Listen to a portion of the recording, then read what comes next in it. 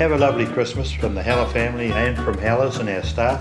Have a lovely Christmas and a Happy New Year.